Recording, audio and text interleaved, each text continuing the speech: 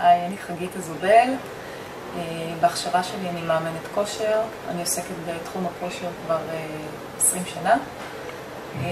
נרשמתי לקורס כי הרגשתי שיש לי צורך בהשלמה של כל מה שקשור להבנה איך אנחנו מגיעים בעצם לעשות שינויים וקצת השלמה של החומר התזונתי.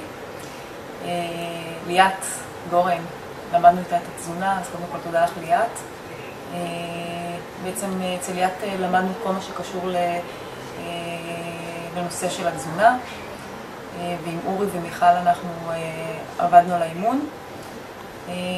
בעצם היום אני מרגישה שאני יכולה לאמן אנשים ולגרום להם לעשות שינוי ולהבין בעצם שאימון ותזונה וכושר גופני זה דרך חיים וזה לא משהו שהוא... שעושים אותו ליום-יומיים. תודה רבה.